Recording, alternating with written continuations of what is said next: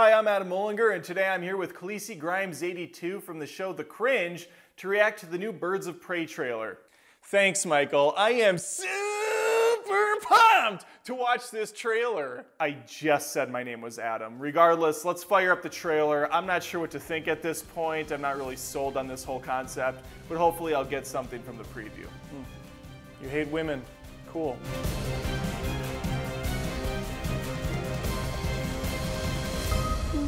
Harlequin is? Okay, uh, first off, right out of the gates, I love that they're explaining what her name means. So much depth in these DC movies, far more than you get in your average cookie cutter Marvel film, which I love, which are great, which I love, which are great. It's just there's a lot more depth in DC movies. Can we be honest? There just is. Uh, fun fact a harlequin is also a type of small duck. Just some research I did a little bit ago on Google. You're a type of small duck. Okay, well, duck you.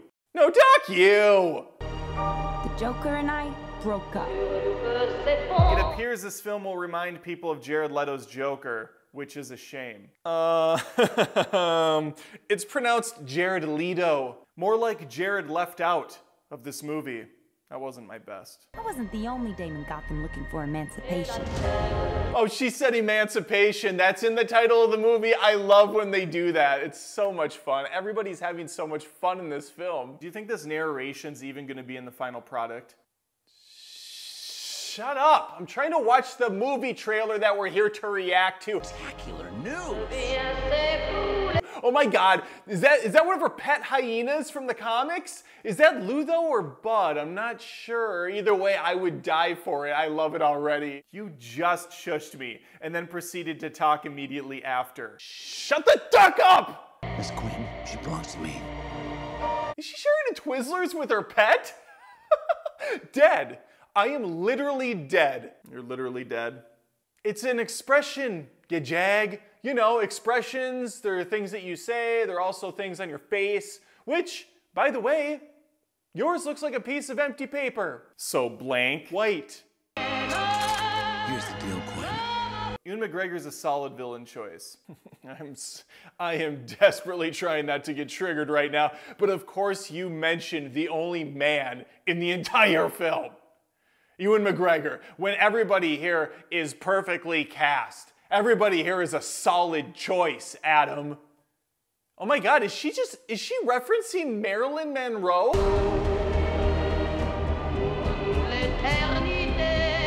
Is my queen, Margot Robbie, pretending to be another queen? So that would make the Joker Kevin James, aka the King of Queens.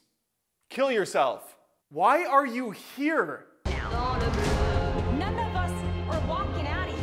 Look at these girls, the, these women, these goddesses. The chemistry is out of control. That remains to be seen. it's already being seen.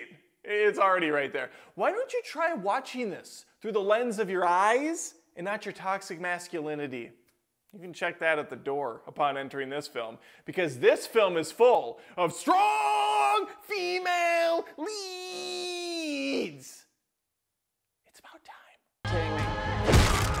Not a fan of the harsh zoom there. I hope that's not a style that's going to be present in this thing. Yeah, that's what it is. It's definitely not that your butt hurts because Harley just clapbacked on that guy's snappies. First of all, she landed on his legs. Secondly, what? You just can't stand to see a strong, powerful woman take down a man. It's just killing you. It's eating you up inside. And you hate the movie for it. I just wanted to watch the trailer with you. It didn't have to be political or sexist or whatever this is supposed to be, which is often how this goes now online. You're labeled one way or the other. You can't just like or dislike a movie trailer or a movie based on its merits. There has to be something underlying. There has to be a deeper agenda to make people feel good about their crappy opinions. It doesn't have to be this way. Yes, it does. Everything needs to be political now. Everything. Here's a question Did you like Rambo Last Blood? Not particularly, no. And was that based on the merit of the movie or the fact that you're a cuckold soy boy? I think you have the roles reversed, but let's move on. Not. Yes. Not Yes. Yes! Oh my god, I can't even. I I'm watching this. She said it. She said Mr. J just like she does in the comics, just like she does in the TV series, just like she does in the video games. I cannot believe the Queen Margot has done it. This is going to be the greatest movie of my generation! First impressions, this looks like it's gonna range anywhere from pretty good to completely awful. Is the cinematography too realistic for you? Not enough Disney logos bouncing off green screens? Which I love, which are great. I do agree, this has some wonderful visuals. It looks a little bit more gritty and realistic. And yeah, there's not a lot of over reliance on CG, which is refreshing. You also have the Joker coming out, which does the same thing.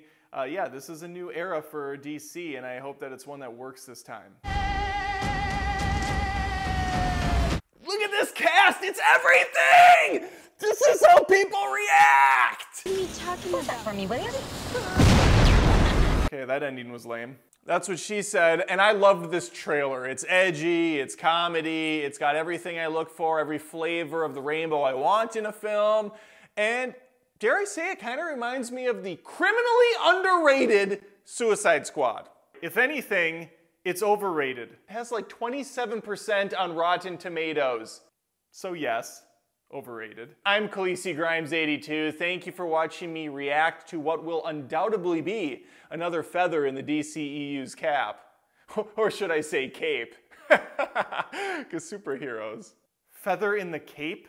If you want to continue to watch movies by a complete stick in the mud, subscribe here to Adam Does Movies. If, however, you'd like a little bit more life in your content, head on over to youtube.com slash Adam Olinger and watch me on my own special show, The Cringe. There's a lot of videos there. They're awesome. It's cool beans. You'll love it. Thanks for watching whatever this was. I do intend on going to see this when it comes out. This didn't really sway me. I, am still just kind of indifferent. I hated the Suicide Squad. This does have some shades of it. I know it's probably not going to be anywhere near that bad, but you just never know. I do like uh, Margot Robbie as Harley Quinn. I just can't sit through another Suicide Squad.